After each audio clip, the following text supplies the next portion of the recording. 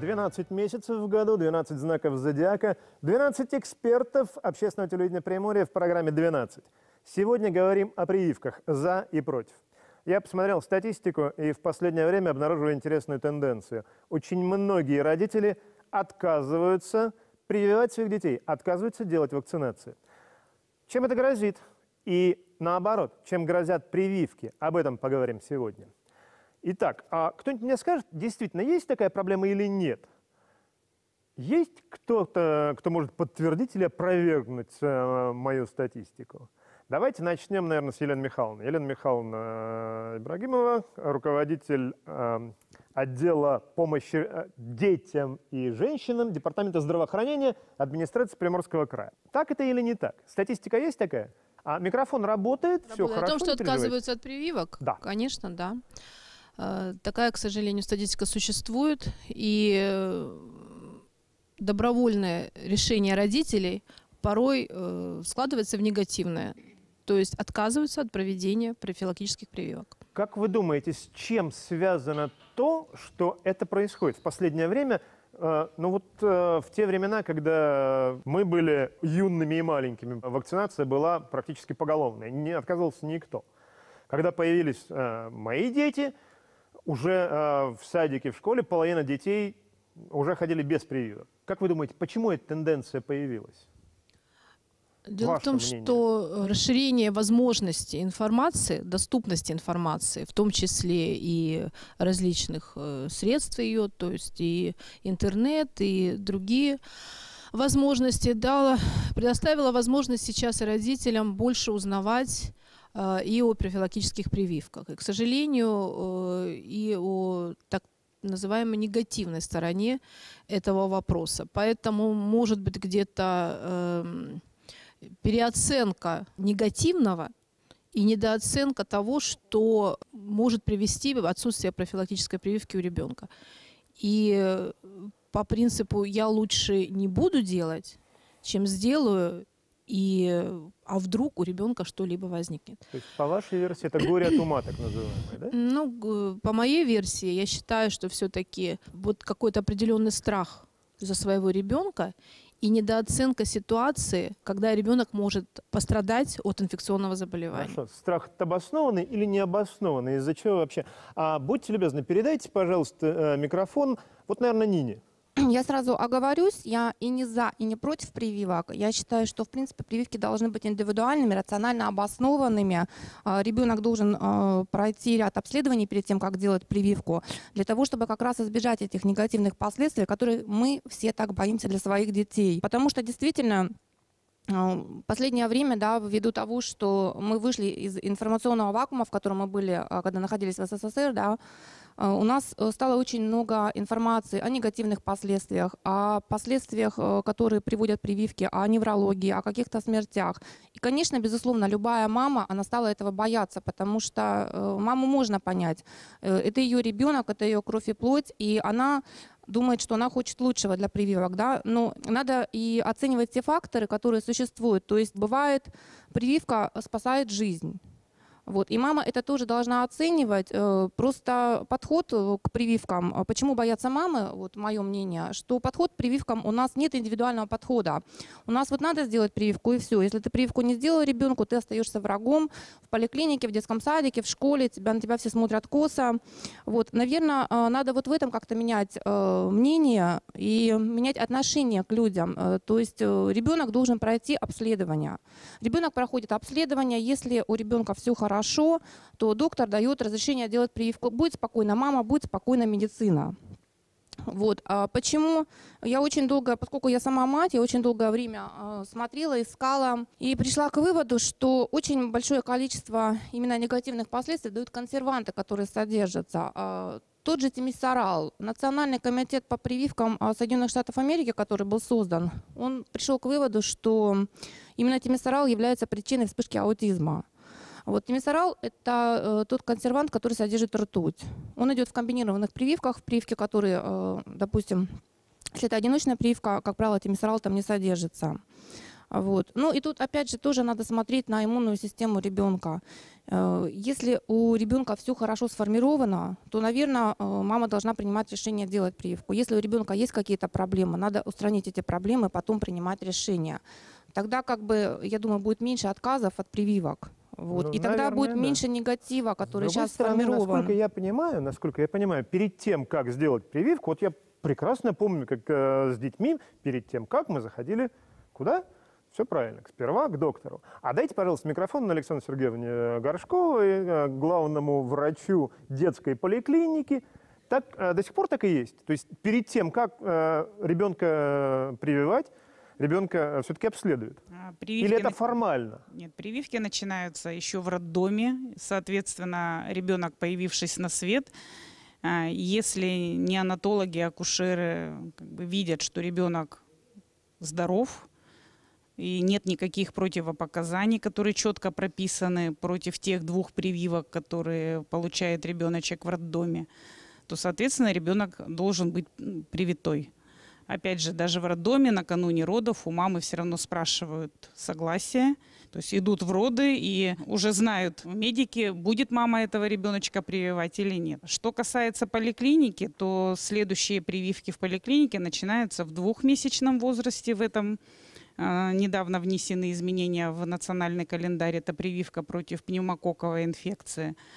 А, И, соответственно, перед каждой прививкой ребенка осматривает педиатр, проводит термометрию, опрос а, мамы, есть ли какие-то жалобы и отклонения в здоровье. И э, совместно со специалистами, неврологами, э, ну, чаще всего это э, именно по этой части могут быть медотводы, принимают решение о допуске к вакцинации. То есть по закону это должно делаться именно так. У нас есть молодой папа Антон Мельников. Э, Антон, у вас э, сын э, родился вот Да, буквально... буквально две недели назад родился сын. Ну, у меня есть еще дочка старшая, ей 17 лет уже. Оба ребенка привиты. И я вообще не вижу смысла в вопросе, надо прививать или не надо. Это как задавать вопрос, надо ли светить солнцу или не надо. Прививки – это вот то, что нам сейчас здесь всем э, помогло вообще быть.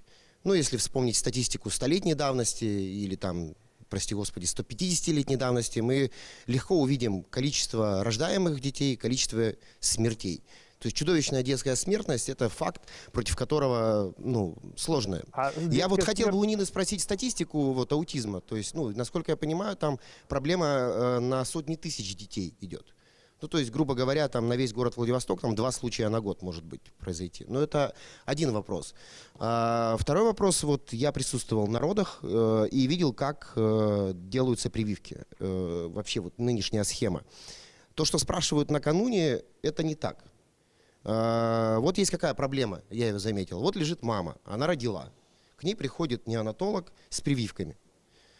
И вот она вот, вот в этом Мама состоянии, состоянии да, то есть она пережила вот эти роды, там вот это все, беременность, она лежит, и ей начинают рассказывать долго, официальным вот этим нашим любимым бюрократическим тоном а, о прививках. Антон, это О называется том, о- информированное согласие. Ну понятно, но она не понимает ничего. Хорошо был я, как бы, и, в общем, понял, что вот эти прививки комбинированную делать надо, а туберкулеза, поскольку у нас одинаковые резус-факторы, по каким-то причинам лучше отложить на несколько недель, прийти в поликлинику, там проконсультироваться и сделать. То есть есть, э, на мой взгляд, проблема, э, ну и вообще в России так часто бывает, за бюрократизированности какой-то, и э, государство вообще любит э, нахрапом каким-то таким действовать. То есть, мне кажется, еще большинство проблем из-за того, что э, есть программа, там, здоровье нации, ну, я не знаю, как у нас там любят называть, куда надо закинуть очень много денег и каким-то образом эту программу сделать обязательно.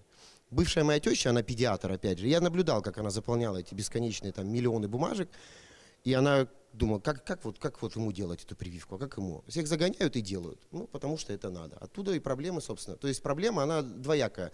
Нина правильно сказала, от ума горе, очень Нет, много, очень, много, очень много информации. Вторая проблема, государство не совсем вменяемо реагирует, собственно, на эти проблемы. Вместо того, чтобы чуть-чуть индивидуальнее подходить к каждому, может быть, э, разъяснение как-то лучше поставить.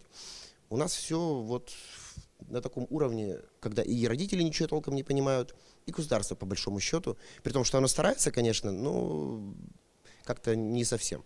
Оттуда, кстати, проблемы, и я бы на самом деле не рискнул. То есть, э, на мой взгляд, не прививать ребенка в наше время, с учетом, опять же, иммиграции, вот это не совсем контролируемой из Средней Азии, которая, где, кстати, прививки там, не, что там с ними происходит последние 20 лет, никто не знает.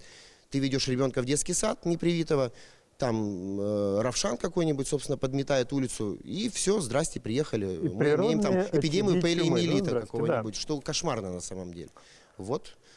Так Ну, что проблема глубокая. Хорошо. А, а давайте мы э, тогда спросим у организаторов здравоохранения э, наших. Наверное, все-таки Евгения Анатольевна будет э, отдуваться, главный врач Центра вакцины профилактики. Скажите, пожалуйста, то, что говорит сейчас Антон, это действительно правда? Просто потому, что есть программа, и нужно всех туда загнать, чтобы программу выполнить, отправляют всех на прививку? Или все-таки чем-то другим руководствуются доктора? Нет, э, я скажу, даже, наверное, не согласна буду о том, что есть программа. Есть э, национальный календарь профилактических прививок. Этот календарь существует в каждой стране. Календарь строится с учетом эпидобстановки, опять же, в каждой стране. То есть какие инфекции наиболее актуальны, наиболее опасны. Э, В нашей стране э, вакцинация в обязательном порядке идет против 12 наиболее опасных инфекций, таких как гепатит Б, туберкулез, коклюш, дифтерия, столбняк, полиомиелит, пневмококковая инфекция, корь, паротит, краснуха, грипп и гемофильная инфекция. Вот 12 инфекций, которых прививают. В обязательном порядке? В обязательном порядке. Э, наш календарь еще не такой совершенный, как, в- вот, ну, как в, в других странах, потому что там идет в обязательном порядке вакцинация от 18, 19 и более инфекций в обязательном порядке.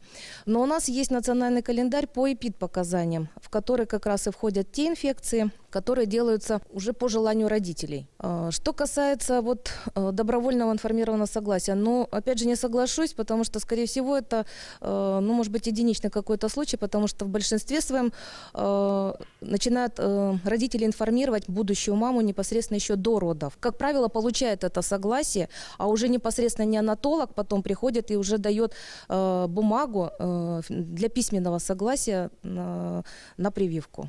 То есть в любом случае вы считаете, что э, прививки у нас э, медициной не для того, чтобы выполнить просто национальный календарь, а все-таки для того, чтобы... Ну, во-первых, за- защитить себя и защитить общество. Хорошо, хорошо, услышал. Приморье всегда было неблагополучным регионом по туберкулезу. Ну вот помню просто э, еще очереди в тубдиспансер э, детишек с э, вот такими вот э, реакциями МАНТУ. Сейчас, как мне говорят, почему-то возникли проблемы, вот очень сильно отказываются от ту- противотуберкулезных прививок. Я почитал форумы, почему отказываются от противотуберкулезных прививок. Все понимают, что у нас все плохо с этим, но отказываются. Хочу сказать, что работаю в стационаре, являюсь начмедом детской туберкулезной больницы и получаю результаты отказов от прививок от туберкулеза уже как тяжелые генерализованные формы у маленьких детей. А, Вакцинация против туберкулеза, как сказал молодой папа, делается именно в роддоме здоровому малышу, у которого нет противопоказаний. И она защищает от того, что даже добираясь домой, или где-то на прогулке во дворе ребенок не встретит эту, эту сложную инфекцию, вернее, даже если встретит, то не получит тяжелое заболевание. Создавая прослойку вакцины БЦЖ, мы получили изменение структуры детского заболевания э, туберкулезом. У детей стали чаще выявляться малые формы, это в виде кальцинатов в лимфоузлах. Э, Эта форма менее вредит здоровью ребеночка, она очень хороша по прогнозу дальнейшей жизни, она лечится гораздо проще, э, быстрее, до 6 месяцев терапия. И препараты, естественно, основного ряда наиболее как бы так щадящие для здоровья ребенка. Если ребенок не вакцинирован, а, в связи с тем, что вот эм, у нас 9 лет не было смерти детей от туберкулеза. А, Прошлый год мы получили эту смертность, и эта смертность была именно невакцинированных детей, когда ребенок не защищен, клетка иммунологическая не готова, и нет другого выбора, как идет генерализация этой тяжелой инфекции, поражаются все органы, поражается центральная нервная система, и прогноза у этого ребеночка, к сожалению, просто не было. Хорошо, Светлана Леонидовна, вот, вот тогда вопрос вот, вот какой. А когда произошел, по-вашему, вот этот вот всплеск? Я не про смертность, я про заболеваемость. Заболеваемость в нашем регионе в принципе высока. Да, конечно. А смертность, она не дала всплеска заболеваемости. Это просто как лакмусовая бумажка тяжести состояния детей в плане э, защиты от туберкулеза. И если мы получим сейчас в результате отказов э, прослойку детей невакцинированных, то это наши будущие поколения, это э, тяжелые формы туберкулеза, это гибели детей и в дальнейшем тяжелые формы заболевания и у взрослых. Дети – это будущее поколение страны, поэтому я считаю, что э, отказ от вакцинации БЦЖ очень неразумен. А, Сейчас осложнений в нашем крае все меньше и меньше от этой вакцины.